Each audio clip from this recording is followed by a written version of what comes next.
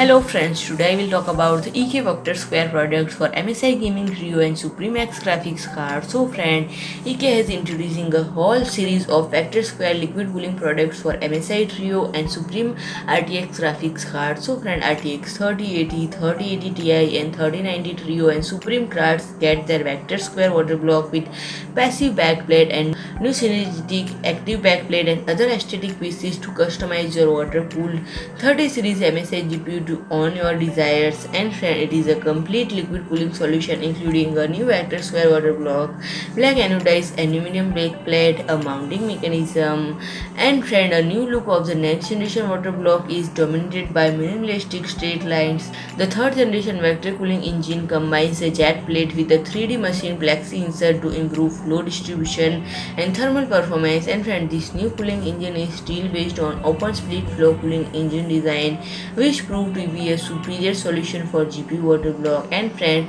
it is characterized by low hydraulic flow restriction meaning it can be used with weaker water pumps or pumps running on low speed settings and still achieve top performance. Great care was taken to achieve a symmetrical flow domain by utilizing in internal bridge to secondary components and friend this was done to ensure a cooling of secondary components without sacrificing